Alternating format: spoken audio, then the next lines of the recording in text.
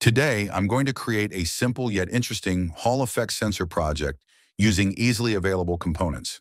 For this project, we'll need a mini breadboard, which is perfect for prototyping small circuits without soldering. The first component is a 1 kilo resistor, which I'll insert into the breadboard. This resistor will help limit the current in the circuit, preventing the LEDs from burning out. The next component is the Hall effect sensor.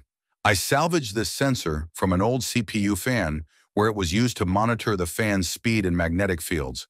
The sensor's original pins were very short, so I soldered longer wires to each pin for easy insertion into the breadboard. You might notice a bit of solder on the pins from this modification, but that won't affect the functionality.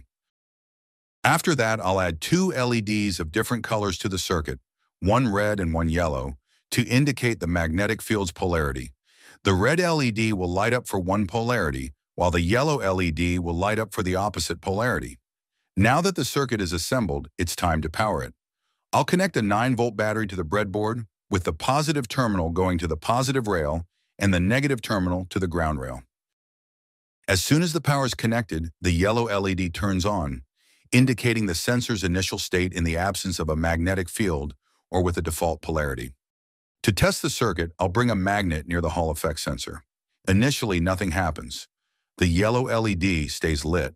However, when I reverse the magnet's polarity and bring it close to the sensor, the yellow LED switches off and the red LED turns on. This shows that the Hall effect sensor can detect different magnetic polarities and trigger different outputs based on them.